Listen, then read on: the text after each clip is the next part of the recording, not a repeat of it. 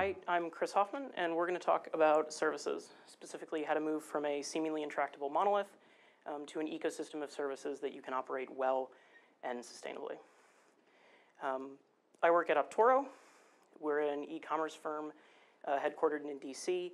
Uh, the only thing that's interesting about us is how we source uh, our inventory. We aggregate retail returns. So if you're Best Buy or you're a Target or some other major retailer, returns are annoying. Uh, what we do is we take those uh, that return merchandise off your hands, we test and grade um, everything that comes through our warehouse, uh, and we figure out whether it's based on the client's recovery goals, whether we should resell it individually or resell it in bulk or donate it or recycle it. Um, uh, then we sell we sell stuff on a variety of online marketplaces: Amazon, Best Buy, eBay, um, our own uh, marketplace, Blinq.com. Things ending in Q will be will, will happen again. I don't even after five and a half years, I don't know why we end things in Q. We just, we just do. Um, that's about all you'll need to know about the business model. Uh, so I've been at Optoro for five and a half years. We've, uh, we still have a monolith, but we're moving towards, we're, we're more and more moving towards um, a, a, ecosystem of services around it. Um, and over that period of time, we've done several service projects. I've been involved in a bunch of them. They weren't all successes. Um, so what I'm going to do uh, today is talk about three of them. I'm going to tell you uh, what we were trying to do so you have enough context, uh, what we did wrong, what we did right, and then we're going to finish the talk, or I'm going to finish the talk, by uh, giving you some advice on how to, on, on what to do before uh, you start doing any service projects, how to approach your first service projects, that's different than the ones that'll come after, um, and then how to operate an ecosystem of them uh, without having a bad time. So um, I started in 2012, but our first and and I walked into a company that was already trying to figure out how do we how do we break apart our monolith. Like this, these were conversations that were already happening um, when I got there. We didn't actually give it a go uh, until until 2013. We started with um, auth because auth's easy, right? So. Yeah, no, not so much. Um, with any multi-tenant software, uh, auth is never just permissions. It's always more than permissions. Um, in our case, specifically uh, authorization, uh, to authorize a request, we need to know not just what permissions a user has by way of what user group they're in, but also who they're employed by and what warehouse uh, they're assigned to, because our, our software runs on a hardware that we provide in, in our um, clients' warehouses, um, which presents an immediate problem for extracting things to an auth service. It's really easy uh, to see that the user user group permission model cluster is going to be owned by auth and it isn't going to be owned by inventory anymore. But then you have this hanging relationship across a network boundary um, because auth still needs to know the client and warehouse to authorize a request. But that, but those are core models to inventory. Like it's an inventory management system. Warehouse is kind of a central concept. Um, so we were, we were a bit at a loss. Um, and we didn't really know as much um, about uh, distributed systems in general uh, as, we, as we do now. So we didn't really solve this uh, data sharing problem. Uh, we just kind of punted on it. So whenever inventory wanted to authorize a request, it would make a request to auth, and then auth, so we go, hey auth, can, is this person allowed to do this? And then auth would ask inventory, inventory, where do they work again? And um, except it had to be a different inventory because in stage, we actually completely locked up our application. See, if you block a web request to do a thing that requires making a web request to the first thing, you do enough web requests at the same time and suddenly your service doesn't work anymore. Um, so yeah, we, we learned that for production, kind of. Um, that inventory then returns the information to auth, and then auth gives inventory a yay or a nay. A big problem with this, um, and the reason we eventually uh, stopped doing this project, was that this introduced um, um, unacceptable latency into, into our system. This is just the start of a request, and we've, we've turned something that went from zero uh, network transactions into two, or network requests into two. Um, and, and like I said, this is just the start of the request. The rest of it, you still have to like ship the unit or, or test and grade an item. Um, and, and we were just not, we were not okay, even with the dedicated inventory instances, of the, um, of the performance penalty here. So we, so we canned the project. So it's all well and good for me here to sit up here and, and, and, tell ghost stories and have animal pictures and diagrams. But if, if you are if you if y'all aren't actually learning something from it, then it's kind of a waste of time. Fortunately, as I mentioned, we messed up lots of stuff, and, and there's lots of things you can learn so that you'll make different mistakes, because that's the goal. Um, the first takeaway, uh, and the thing we notice immediately when trying to pull data out of a, of a monolith is that callbacks are not your friend. Um, they, they're kind of raison d'etre is to hide code from you, and if they're hiding code that only changes that model, mm, I don't like it, you know, but may, maybe it's okay in your applications. Active Record makes it really easy to, to touch related models, like that's its job. Um, and if your callbacks, which are hidden from you, are touching related models and you have to try to extract those related models from your, from your database, that gets really frustrating, like hair-pullingly frustrating very quickly. Um, after this, uh, basically after this project, um, at Optoro, we just basically don't write Rails callbacks anymore. Um, we have other patterns for um, linearizing uh, persistence actions. Um, and we try to get rid of the callbacks we've still got um, whenever we can. So I highly recommend that you do this. The one thing I will say in, in, in the defense of callbacks is that they do transaction management for you, which is a good thing. All the, um, with the exception of the before, the before transaction, the after transaction callback, all the callbacks related to a particular save will happen in a transaction. So they'll happen, they will either happen atomically or not happen atomically. You won't have some of them happening, some of them not happening. This is actually really good behavior. And you should, and you should one, get rid of callbacks, and two, um, recreate that behavior yourselves. Um, I'm not going to say that like you should do this or you're a bad developer if you're not, because I, I really don't like people getting up on stage and saying that, especially white men, because it generally comes from a place of toxic gatekeeping, so I won't, but I will say that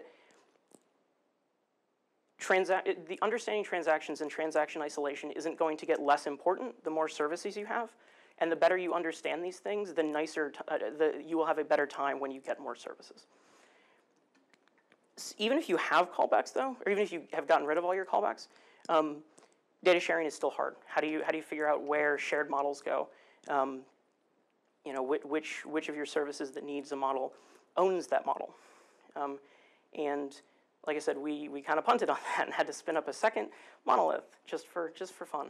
Um, and there are some there's some strategies you can use. You can think about sharing a database, but okay, so you've got two apps writing to a, writing to one database. The problem with with this is that no matter which app you are, the other app is evil and doesn't share your and doesn't share your values, i.e., your validations, and will corrupt your data out from under you. So that that's a bad idea. Um, there's a lot of other strategies. I'm not going to go into them. Um, but the, the, the, the, one thing that we should have done, and we didn't realize this until like years later, like I said, after we started uh, learning more about distributed systems in general. Um, and you are building a distributed system when you are, when you are embarking on um, uh, a service project. Um, we don't generally think of like Ruby having a big uh, presence um, in, in, distributed systems, but like that's what you're building. Um, so this is, this is what we should have done with the benefit of hindsight. So I said warehouse and client didn't belong in inventory. Yeah, so that's a lie. They, they pretty much did. Uh, or they didn't belong in auth. Um, they, they pretty much did. Um, the, the right move here is to, um, is to have auth be, uh, is to have auth be own warehouse and client. Um, and the way that would work would be auth and inventory, their own, their own apps, they've got their own databases. And auth now services requests, auth now services requests for client creation, for warehouse creation, and user creation that actually creates this nice UX, um, US, UX and request flow because you're creating the client and then you're creating their warehouses and then you're creating their users all in one place. So that's, that's a nice hierarchical um, setup. But inventory still needs th that information because it has to service requests about, I'm going to scan this unit in, and if inventory goes, that warehouse is not a place, I don't know what's going on, 404, um, then that's unacceptable uh, for our users. So what we need auth to do is auth to tell inventory um, every time it gets uh, a new warehouse or a new client, or anytime a warehouse or a client are changed in a certain way, or anytime warehouses or clients remo are removed. That one's especially important. We want inventory to freak out if uh, people who are no longer on contract are still using our software.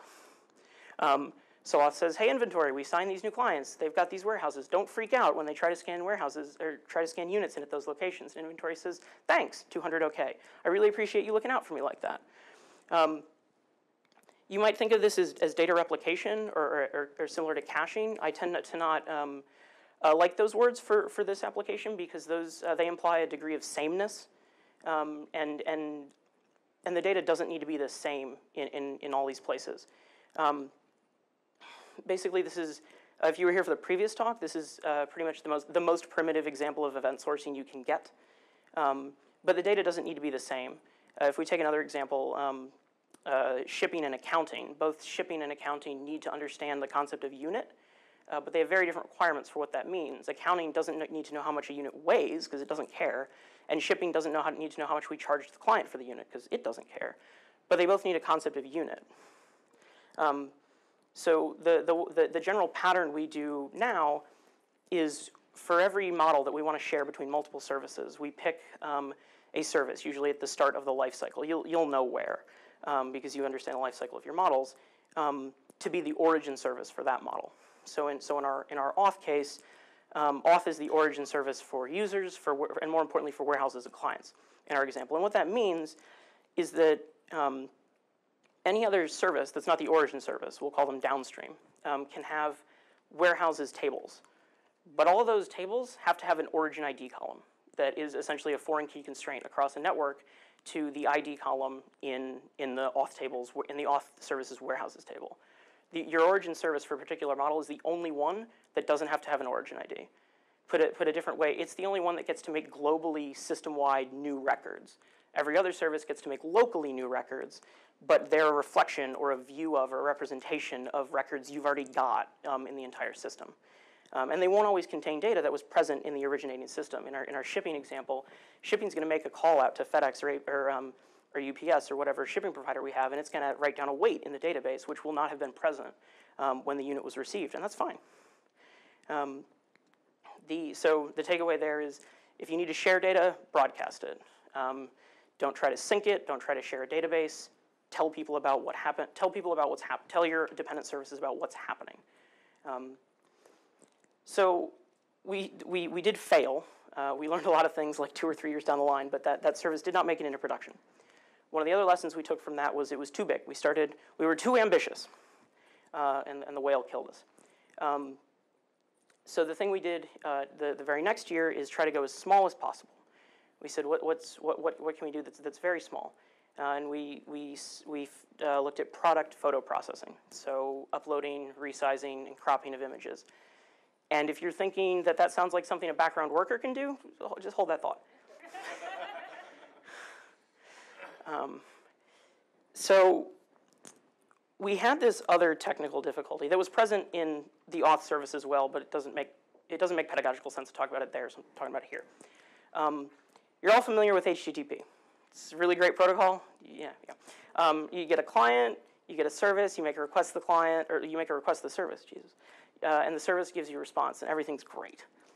We didn't want to do this. This is, this is old and busted. We're, we're, we're a startup disrupting things that have no business being disrupted. Um, so, so we had this vision. Like, there are reasons for it, but they're not amazing. We had this vision of the way services were going to work at Optoro, five-year plan type shit, type stuff. Um, and instead of using a decentralized synchronous protocol, which is what HTTP is, we were going to use a centralized asynchronous protocol. There's a couple reasons we thought this. I won't go into them in the talk. If you want to ask me about them later, I'll be happy to tell you about them. It will cost you a drink. Um, um, but we wrote a rack server that spoke AMQP so that we could use our, our, our current Rails apps and just pick, stick them onto this protocol. We also wrote a gem called AMQ Party, which, uh, as you can guess, mimics the semantics and interface of HTTParty. And here's what it did. And yeah, uh, so we got a client and service. Uh, and because the client and service can't talk to each other directly, uh, the service has a request channel that it's going to read inbound messages from. And because the service can't respond to the client directly, the client and the service have a paired response channel that the client is going to read inbound messages from. It's great. Um, so the client, so AMQ Party publishes a request message. Notice, not sends a request, publishes a request message. It's very dangerous territory we're in here.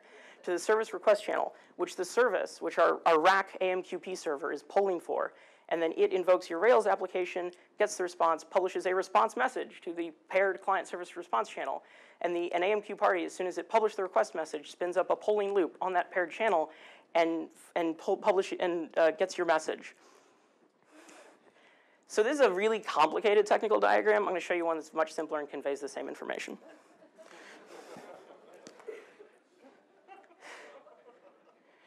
So even with all this nonsense, we did it. We like we we, we made a service, except not really, because it still used inventory's database, so you can't really call it a service.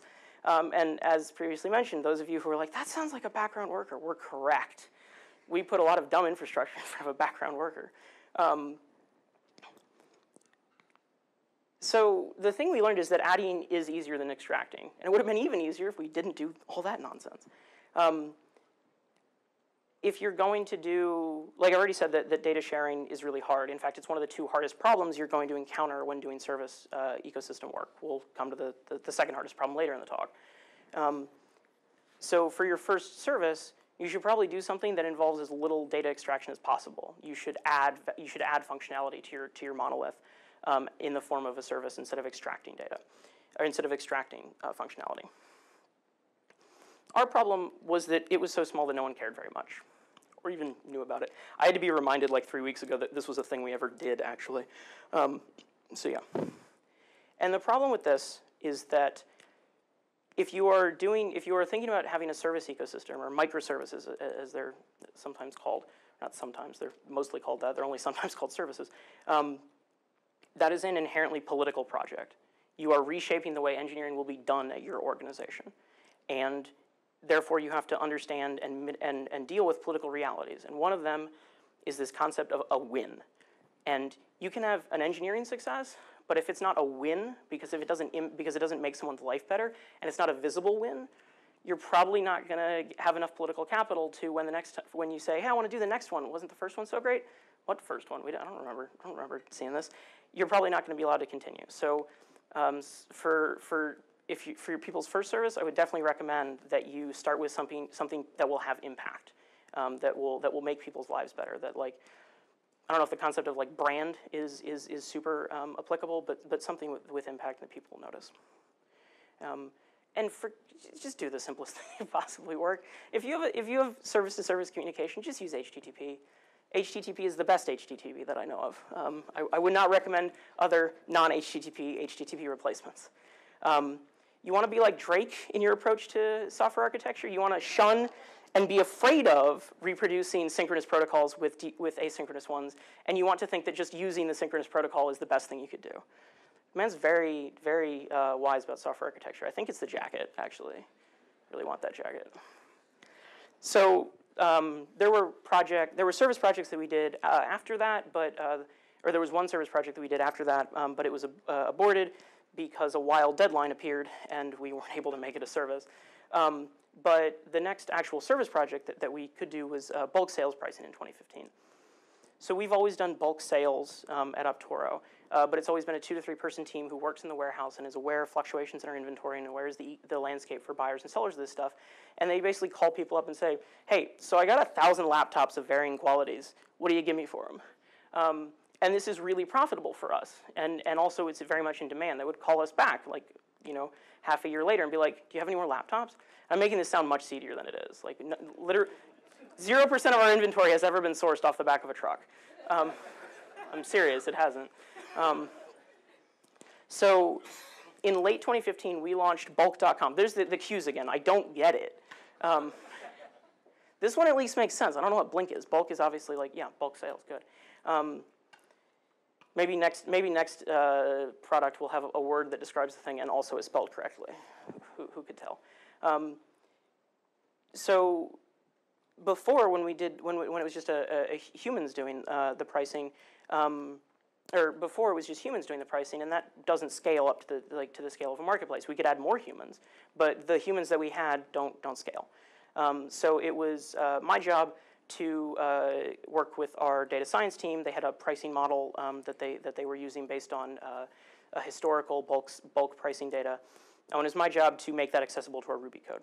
And so my, my lead and I got to talking, and we were like, do we need this data in the monolith? And the answer was no, we didn't.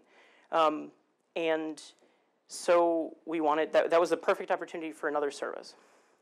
And the problem was when we had done auth and when we had done photos processing, our infrastructure team yes, we have an infrastructure team, um, had done the provisioning and configuration and setup and creating backups and logging and metrics and all that stuff um, for Rabbit, for our, um, for our, for our janky ass rack server, uh, rack server um, for the workers, for, for everything. And they were doing, and they were busy doing bulq.com because that was client, that was public facing, and that's what they should be doing. So I said, I can do it. Um, and uh, you know, I, had been talking to them a little bit, and they didn't have like a checklist, but the standard procedure was we use Chef Cookbook, we, we use cookbooks for, for configuration, we use Terraform for provisioning, we use you know data bags for for uh, for secrets, and that, that that seemed to me like yeah, it's Ruby files and JSON. How hard can it be? So, yeah, uh, it took me seven. We had a, we had a deadline of nine weeks. We had to we had to be ready for uh, regression testing for Bulq.com. Um, and we, we made it. We, we, it. I took seven days to write the service, a really easy service. And there was a redesign in the middle. I could have done it in three if I wasn't. Um, and it took me seven weeks to learn a thimble size amount of each of those. And if you will notice, the last thing has an ampersand on it indicating that this goes off the page. it does. Um, the problem with this is one of the motivating factors for the overall uh, service project at Optoro is that we want the we want the time between, or we want, we want to go from a developer going, that piece of functionality doesn't go there, to having a deployable prototype in as little time as possible. And seven weeks is no one's idea of as little time as possible. Um, and there were, and the reason for that was there were too many things to learn. However, we also had the solution at the same time. The reason it took me seven weeks to learn all these things, and not like two years, um, is that we had an infrastructure team and they had already figured out patterns for all these stuff. I didn't have to look at all the uh, at the various common logging formats and figure out which one was a, was a, was a fit for us. They had already done that. We used Logstash. I didn't have to research all the popular health check frameworks and figure out which one was, was, was going to be the best fit for us. They had already done that. We used Nagios. And we as Rails developers understand that these kinds of conventions are one of the most empowering things that you can have. Like this is what makes Rails Rails. The other thing that we noticed um, and this is going to sound a little patronizing at first, and it's not meant that way, um, is that I was able to operate my application. Like previously, we had, we had relied on um, um, on our infrastructure team for not not like code level, um, not not business logic uh, bugs, but for for database performance stuff, for, for, for, for tuning, for that kind of thing. And they were busy doing bulq.com, and there were there were a couple times where I was actually able to respond to uh, incidents in production using their pattern, but just running it myself, which was very empowering. And, it, and we came away with the conclusion that if we're going to have more services, developers should um, operate the applications they deploy. They should be responsible for the production behavior of the code they put into production. And the reasons for that are, are twofold. Um, one, if you if you have an infrastructure team, if you don't have an infrastructure team, there's only one reason. But if you do have an infrastructure team, um, they're already operating your, your, your infrastructure, like whether it's databases or caches or Kafka or Rabbit or, or whatever, they're already doing their job. It's, it's, it's, it's, it's kind of, it's not really okay to ask them to operate, to also operate all the services you're about to start making. Um, and, and the second thing, uh, and this applies if, if you don't have an infrastructure team, is that our, our role as engineers is to deliver value to users through products. That's it. That's the whole job. And if that's the case, and I'm arguing that it is, um, then our job can't stop at merging to master and deploying. It, it has to extend beyond that into an understanding of how our systems operate in production, how our users encounter the code we deploy. Um, and if you're going to do that, you should have an answer to all of these questions um, at your organization. Um, again, having these conventions are super powerful whether you're whether you're on a 24/7 um, uh, on-call rotation and you get the page at 4 a.m. and you're like, oh, what, what? Or you get the page at 4 p.m. and you're not on an on-call rotation. You were just finished for the day and going to do some PR review and then head home. You don't you don't want to get a page at either of those times.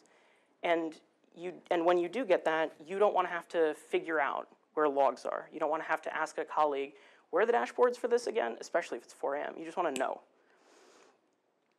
So the way that our infrastructure team had already figured this out and had already provided convention, had already provided production conventions for us, um, you'll want to do for your organizations.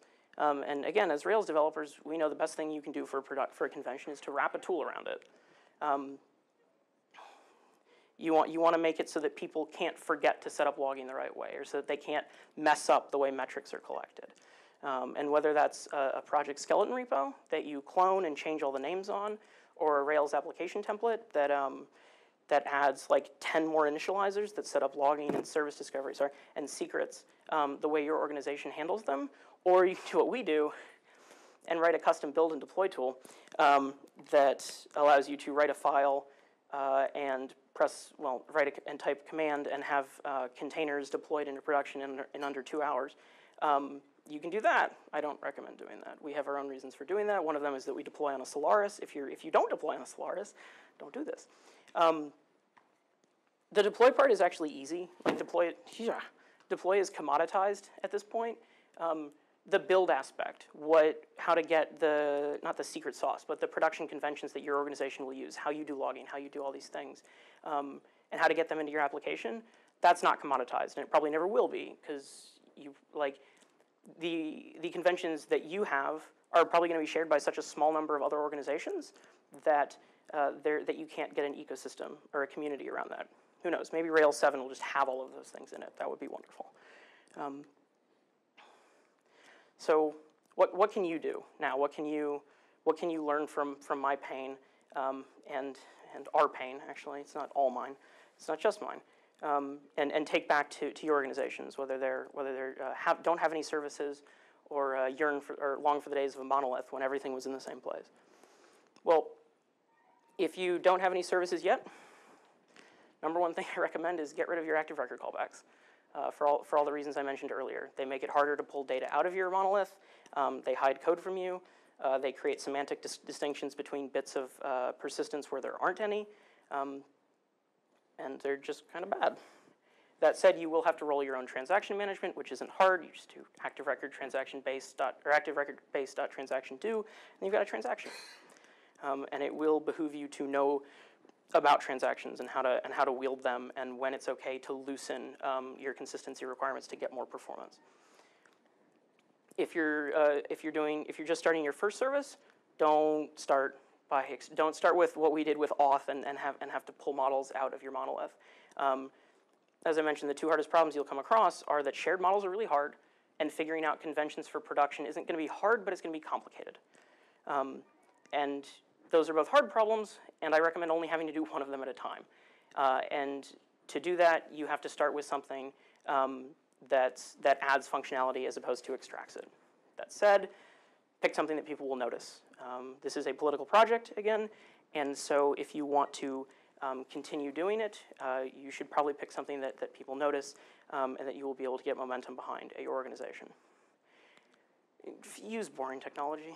Don't, don't be like Drake. Don't don't use don't use um, don't recreate uh, synchronous protocols with asynchronous ones. Um, use things that you can uh, that that you can uh, get people um, to support, or that you can actually Google for answers on the internet. Um, uh, once you have more than one service, um, or once you're past your, your first service and you maybe want to start extracting some data out of your monolith, um, don't, don't try to share that data. Don't try to synchronize that data. Broadcast it. Um, pick, a, pick a service uh, that makes sense to be the origin service for that model, and everything else is downstream and only gets to create new, new local records of that model when the origin service um, says they can, basically. Um, and you will, you, you should operate what you deploy. Developers should be responsible for the production behavior of code they put into production. Um, and to do that, you, it's, that's going to be lots easier if you have conventions for production. Figure out what, what makes sense for your organization in terms of how to, all the tools you need to respond um, to, to production incidents. And then make, write a tool, write a build tool that enforces doing so, so that you don't have to, that, so that you can't forget or, or can't mess up um, configuring these things. You've been a, you've been a great audience. Uh, I really hope you've gotten something out of, out of me basically going, you see this scar? You want to hear how I got it? Um, for, for as long as I have. Um, uh, do we, can we do questions or are we just not doing? What? Okay, we apparently can do questions. Um, but if you have any other questions of, uh, of me and or, or comments or observations, I will be happy to uh, take questions in the hallway track. I am unfortunately not a giant, uh, but I do have this ponytail, so um, if, if that helps you locate me, then uh, I, I don't know, you're welcome, maybe. Hmm. Um, anyway, thank you very much.